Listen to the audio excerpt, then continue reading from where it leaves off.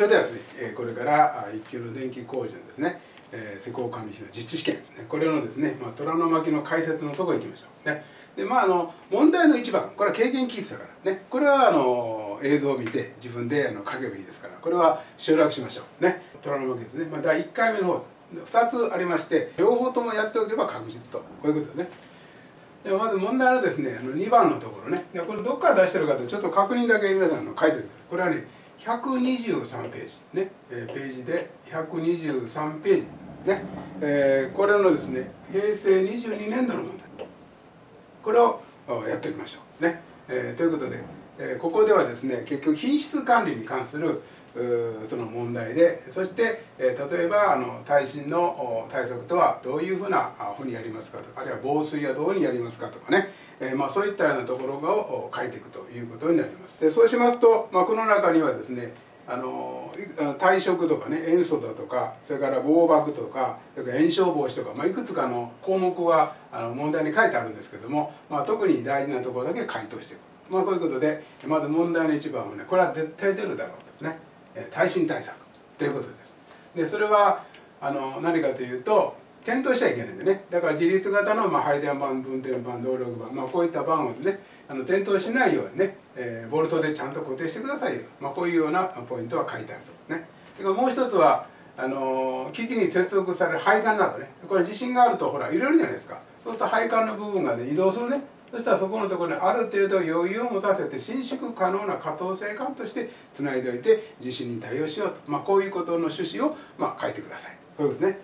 それからあの防水対策については今度は水が入ってきちゃうと電気はダメですからそれを止めましょうと。こういうことですね。であのコンクリート内にですね。打電する電線管のまあ立ち上がり。部分ではね。これはカップリング部分のコーキングでコーキング詰めて水が入ってこないようにしてくださいよ。だから端っこにちゃんとキャップつけてこういうふうに水が入ってこないようにしてくださいと。いうような問題。それからもう一つはですねあの躯体の壁を貫通する。壁をね、えこういうところの壁を、え貫通する。これ外側ね。これ内側ですね、まあ、こういうところを貫通するなんてね、えこういう時の問題。電線管と壁の空撃部。ね。ここはだから隙間をちゃんとコーキングで埋めてくださいよとこういうことだな。それから、えこの缶の向き方だけどこれ水が万が一入っても外へ出ていくようにね。下向きね屋外の下向きに配管してくださいよと、まあ、こういう点を、まあ、注意をしておくということになります。それから今度問題の3番ですけどもページの172を見てくださいね。でこれは平成のですね22年度の問題です。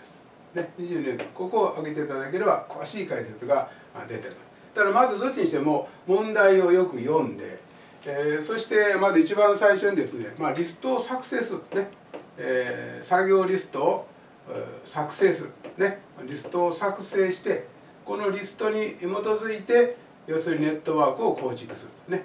これを基づいてネットワークの構築をするとね。まあ順番決まってるからね。構築をすると。でこれが終わると再総開始国の計算数。ね。再総開始国の計算数。こうだね、まあ、こういう順番になってくる。だからこの流れをしっかりと理解してこういう問題を取っておかないとここが0点っていうことであれば非常に難しくなる。合格するのに。だからだって通ってる人の多くは必ずこの経験記述とそれからこのネットワークこれをしっかり大体できる人が大体通ると。ね。だからここはやっぱ抑えなきゃいけない。ここ逃げちゃダメですよ。しっかりと頑張ってください。最初は0な。で2のところでは0と5を入れてはい。2ですね。で2が終わったら3いく、ね、3いくと0と6では6ですよ。次4よ4いく。123終わった4く。4いったら2本野線が入ってるね。どちらか大きい方。こっち側は0たす5だ。5だな。下から来るとこれダミーだから0だな。だ6たす0で6大きい方入れる最大値ね。えー、流入野線の最大。値で6になるね。5いくで5いくと5と4でこれは9ですよと。ね。6、まあ、両方から入ってるからこっちから来ると6と6と12だ。上から来ると9と6だから15大きい方だな。15ね15とか入ってくる。で6終わったら7来る。7来ると1個だな。6たす5だから11だ。こう来るな。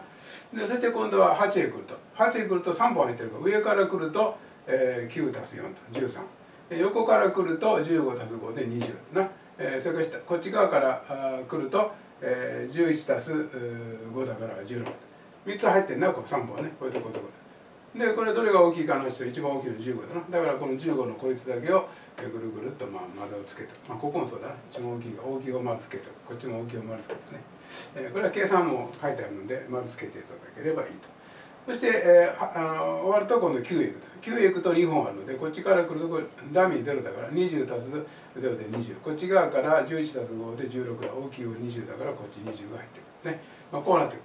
そして、えー、10のところは20足す3で23と下から上がってくる20足す4の24でこっちの大きいな。そしたらこれがぐるぐるぐるっと入って24日。これは後期となってるね。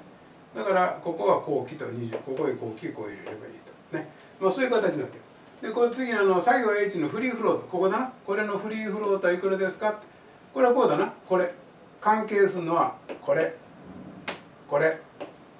これ。これだけな。どうやるかというとこれは簡単。はい。20からこれからはい。これ足したものを引けばいい。マイナス9と足す4と。これだね。これを足したものを引けばいい。これからこれ足したものを引けばよろしい。そしたらこれは7というふうになってくる。じゃあこれとこうやっていいと、まあ、こんなふうになってだからこの計算ではねリストをちゃんと作れることそれからネットワークで構築できることそして再送開始項を計算できることフリーフロートを計算できること。これは今年の重要なポイントですね。ここをしっかり、えー、ここのページを練習してくださいね、えー、次はですね問題の4番は全部であの、えー、問題12問でね。12問である。でここはねあのー、全く分かんないんですよ。傾向とかそんなんね。すぐ出ないんですよ。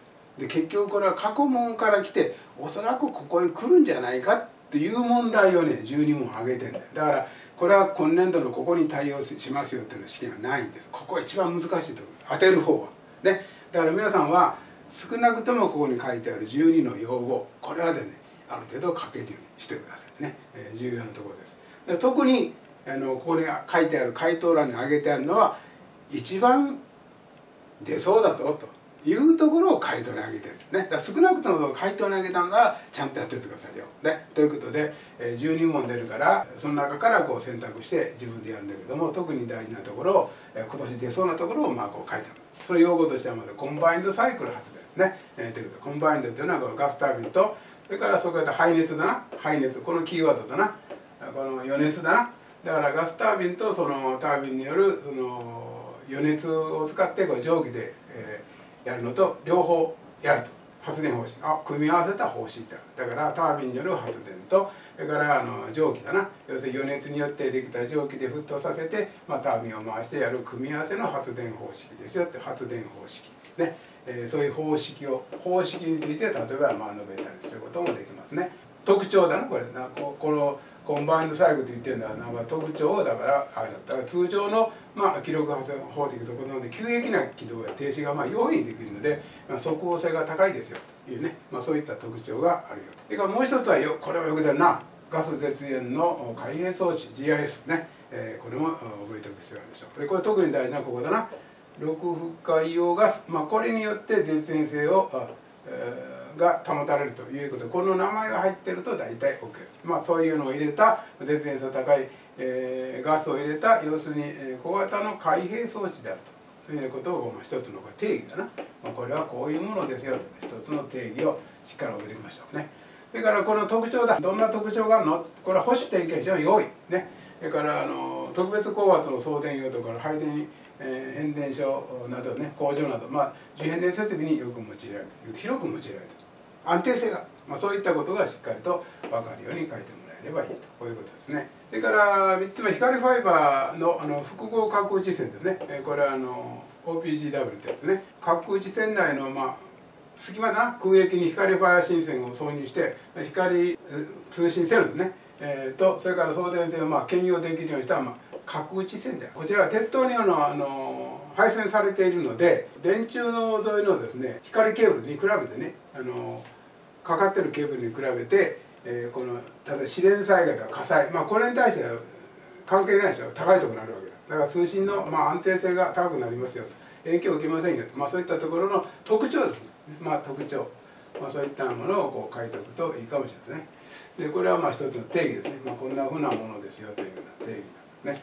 それから電気鉄道のですね軌道回路ね。これもよく出るところです。えー、ということでこれこっち側はですねあの鉄道軌道に電気的なまあ区切りだな設けて、えその区間内における列車はまあ1台だけね、えー、検出できるようなまあシステムですよっていうことね、まあ、どういうものであるかとこれも、えー、要するにどういうシステムですよということでまあこれは定義みたいなこういうまあこういうものですけどね。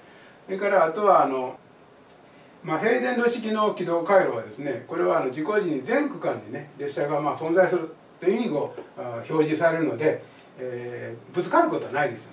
安全性が高いよということで、ね、まあ、こういったところの文言を書いておくと特徴ですね。特徴を書いておくといいかもしれません。というところはですね専門用語のまあ解説ということでこの4つをしっかり覚えておきましょうね。それから続いて今度はあの法規の問題で、えー、これはですね28年度の問題でページ、えー、説問1ですね工事現場の電気工事を適正に実施するためにね管理技者が行わなきゃいけないような職務って何？ということ？で、まあ、管理技者もこれ主任技者も同じことですね、えー、どういうことをするかというと2つ書いてくれっていうのはね。2つ。だから1つは施工計画を作成してさ、ね、工程管理して品質管理を行うこと。これ1つ。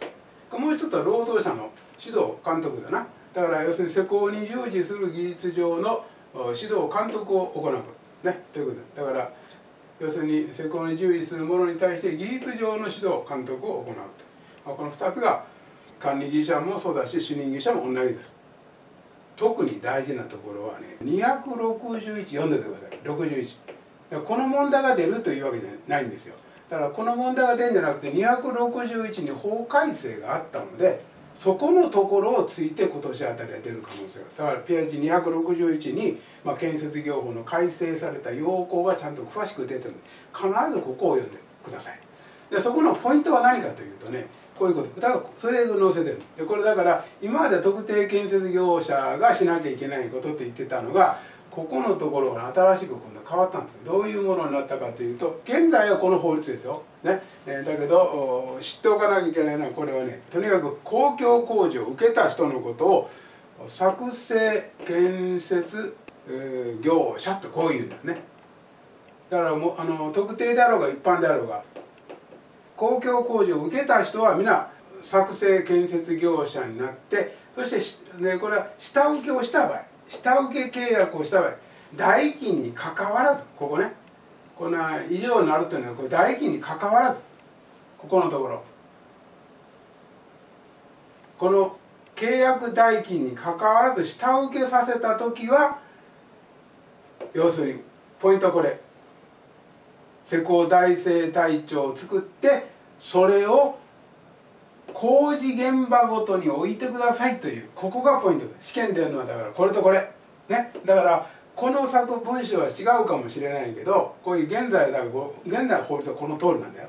だけど法律変わって260に書いてあるけどこれは作成建設業者請負代金にかかわらず下請けした時は施工大生隊長を作ってそして工事現場ごとに備え置かなきゃいけませんよと。こういうふうになってると。